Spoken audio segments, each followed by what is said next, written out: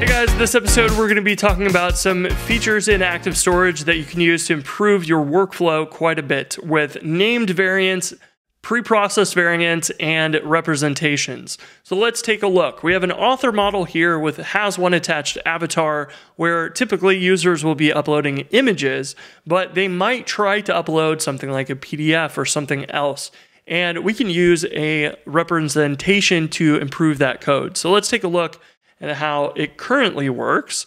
If we go into uh, our user and we go and update the avatar, this will embed my profile photo here. And if we want to resize that down to something more reasonable, we would go into the HTML where we have our image tag. Here we say image tag, author avatar, and we have to check and see if the avatar is attached. If there was no avatar, the image tag would blow up and say, hey, you didn't give us a file, so we can't do anything here. And it's important to check and see if it's attached.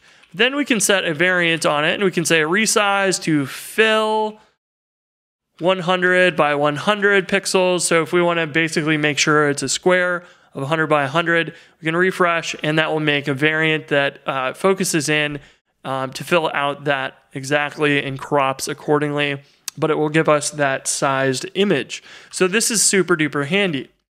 Now, the problem with this becomes if you are dealing with file types, like maybe a PDF here, you can update the author, and this variant call is now going to blow up because this file type is not variable.